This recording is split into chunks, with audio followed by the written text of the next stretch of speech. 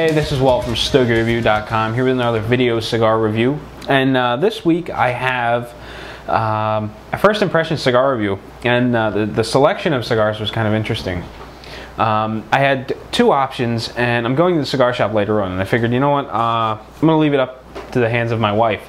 And I'll let her select the cigar that I'm going to smoke because I have reservations about both.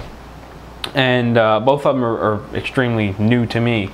So I, I, asked her, you know, which one should I smoke? La Aurora, uh, Preferidos Lancero, or the Partagas Benji Menendez?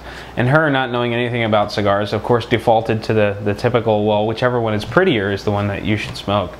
So, so we're standing in the, in the, in the dining room, and all I can do is just shake my head at, at her answer. And uh, I reached down, I grabbed the La Preferido out of the, the bag that I brought home from the cigar shop yesterday. Uh, I had two samples left uh, at the cigar shop by uh, Chris Lenzo, my, my area rep.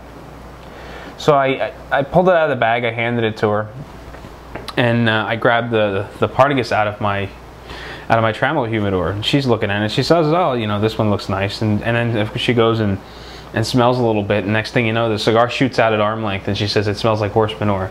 So pretty much at that moment I knew that that's the one I should probably smoke because I you know took it from her I smelled it and I said wow this smells pretty good. She got that disgusted look on her face. And then uh, I handed her the, the Partagas and I believe this is the Benji Menendez I think um, this was a gift by Jason uh, up at uh, during Cigar Fest weekend and uh, and of course she selected the, the prettier La Aurora so so, so far we know that the La Aurora is prettier than the Partagas uh, Benji Menendez, and that that is the cigar we'll be smoking today. And I'll try to keep this short and condensed. So, uh, I don't know anything about the La Aurora Preferido. Uh, Lancero. Uh, I do know that I had a Figurado Preferido before and I wasn't crazy about it.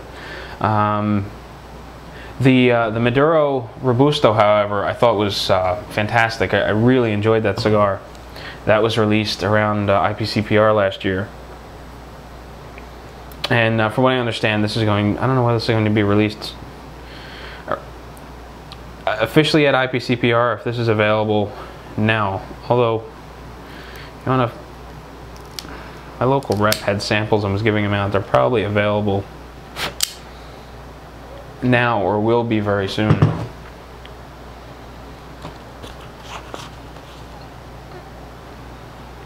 The draw's got a little bit of resistance to it. It's got a bit of a sweet flavor. The, the wrapper is kind of rustic, a little rough, uh, medium-sized veins throughout. It's got a really heavy aroma. I don't know that it smells like horse manure, but I really like it.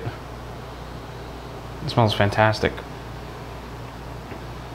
So, pretty firm. Overall and the band sliding around. That's a great sign.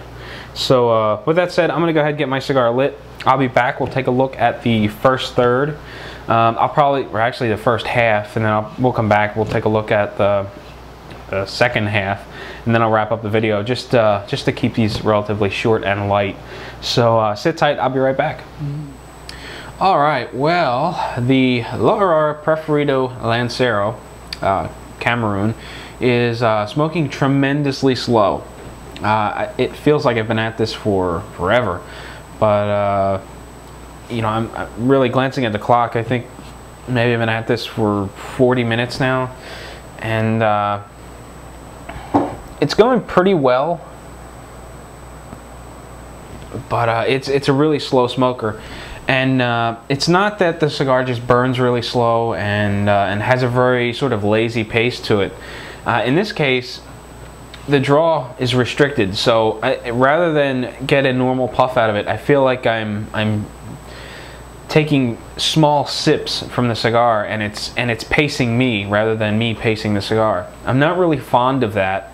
Uh, I like a draw that's that's relatively loose, maybe a little bit of resistance that I control the pace.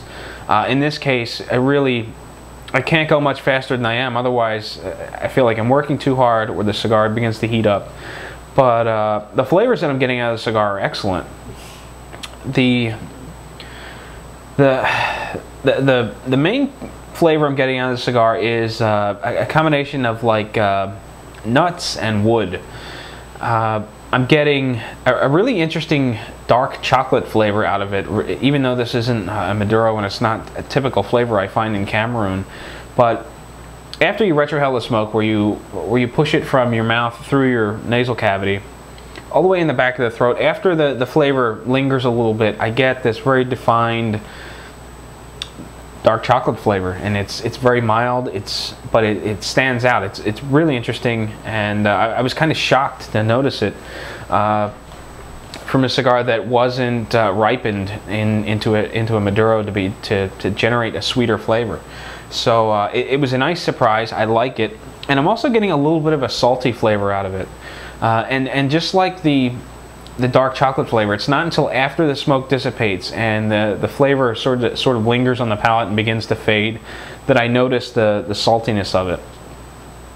Uh, the aside from the the draw being a bit stiff, the only other thing about it that I'm not real crazy about is I'm getting a bit of an acidic feel, uh, and it's it's not quite on the soft palate. It's sort of like if you prod the roof of your mouth with your tongue, there's, you know, the, the palate that's kind of in the back. And then directly behind the teeth is the soft palate. Well, there's a transition point in between the two, which feels like hard and sort of like a like bony. I'm you know I'm not a medical doctor, so please bear with me during my my explanations of the palate. But uh, right there at that transition, my palate feels a little weary. It, it feels uh, like it's got a little bit of an acidic sting to it. Uh, for instance, if you you know drink a big giant glass of orange juice, uh, afterwards you get that that slight sort of uh, citrus tingle in certain parts of the mouth. In this case, I'm getting that that citrus, or not so much citrus, but that sort of acidic feel on that transition between the palate and the soft palate. So uh, I'm not real crazy about that, but it's not becoming overwhelming yet. Um, we'll see how it goes as I get further along in the cigar.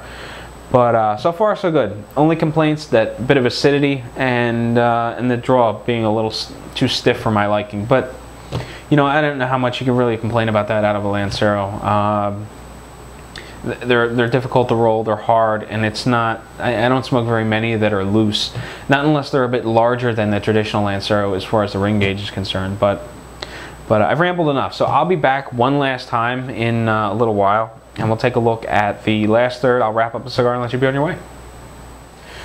All right. Well, I'm uh, still plugging along with my La Aurora Preferido Lancero, and I think it's been about another 40 minutes or so and uh, I still got quite a bit of cigar left. Um, the reason why I turned the camera back on is because uh, I was fighting with the draw a little bit, uh, a little bit more actually. I guess, uh, get that to focus, there we go. Um, I, I, guess because the cigar is growing shorter, uh, the uh, for, for, whatever reason the, the, the firmness of the draw increased. It was kind of like by reducing the length, we wound up uh, creating more of a vacuum as I was drawing on it, and the tobacco just sort of clamped down on itself. And I was having uh, a lot of difficulty getting anything out of the cigar, and I was thinking, you know, this either this is only going to get worse, I'm going to smoke past either the, a twist in the in the tobacco or a little bit of a plug, and then uh, and then everything will be okay. But uh, or I could try uh, an extreme measure of reaming out the cigar a little bit, and that's actually what I wound up doing, and the draw has been considerably better. Uh, basically, I just took a, my cigar spear, which I showed in an earlier video. It's just a, it's a metal rod with uh, actually little ridges on it. I don't know whether you're going to be able to see, but it kind of looks like a ring shank nail on the end.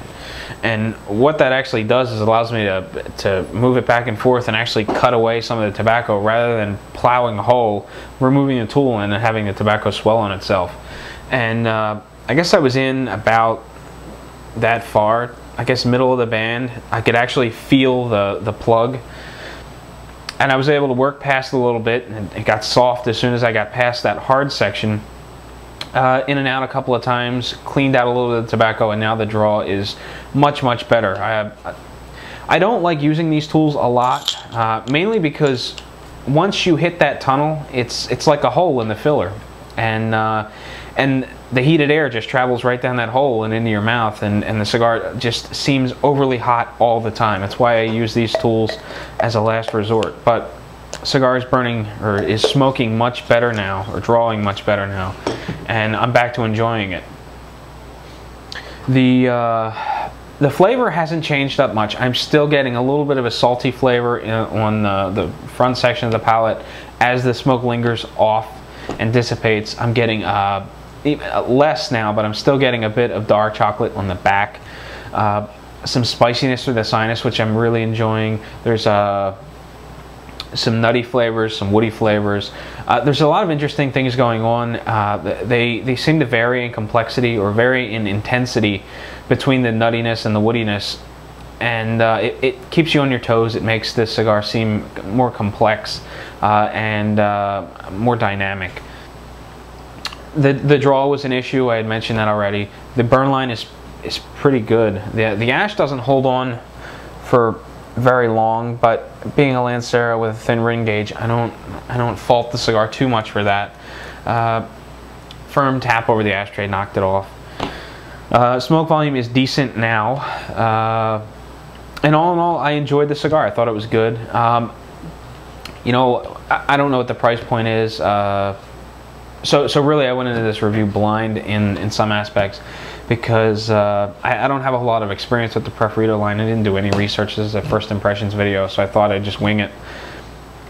But uh, I, I, am not even going to take a shot in the dark as far as the price is concerned.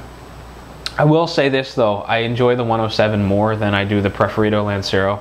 Uh, not to say this is a bad cigar, but I, I, just enjoy the 107 more. I think it, it provides a more rich flavor and also it gives you a lot more smoke volume, which I, which is probably the the deciding factor for me on the two cigars. But uh, all in all, I enjoyed it and I thought it was it was very nice. So with that said, let's keep this video short or relatively short, and uh, I'm gonna close it out. And until next time, happy smoking.